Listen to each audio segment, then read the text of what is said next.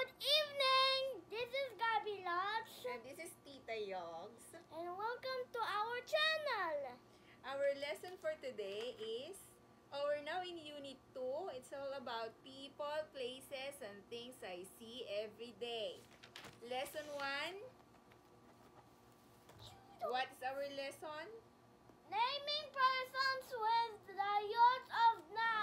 Naming persons with the use of nouns. Let us learn. Carpenter, Read.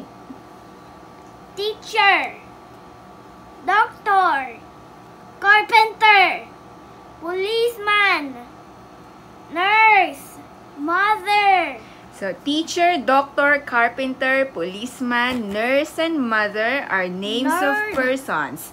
Names of persons are. Nouns. Let us try.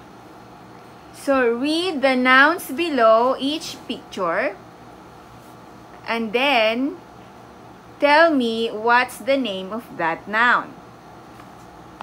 Fisherman. Janitor. Nurse. Doctor. Teacher.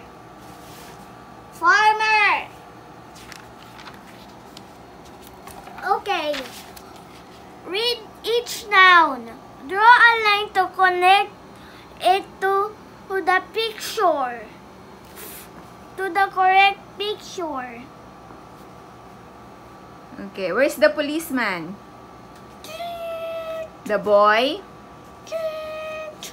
The baker? Mother? And the father?